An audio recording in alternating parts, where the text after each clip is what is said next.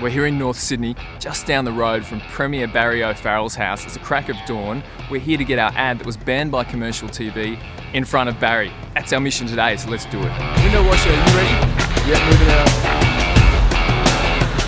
Just spotted Barry going down this road. We've got to get the truck on and move out and follow him.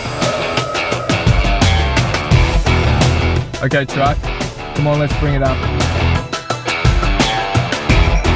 Barry's not going to be able to miss that.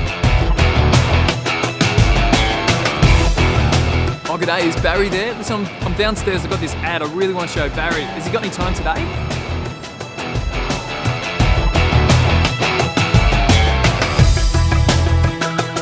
G'day, Barry O'Farrell. I've heard of it. Yeah, have you seen him around? Not at all today. Supposed to be around here today, he actually goes to that gym. Loves a bit of lycra, I've heard. Beautiful.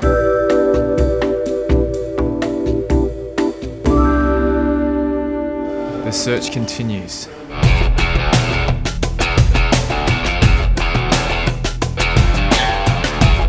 Seen Barry? Is he in there? He is. He's in there.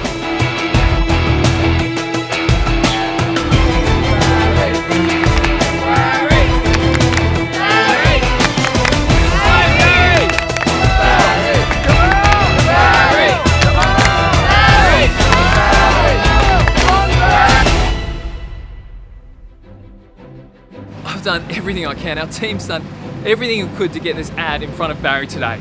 Over a million people have seen it. Ministers and MPs have seen it.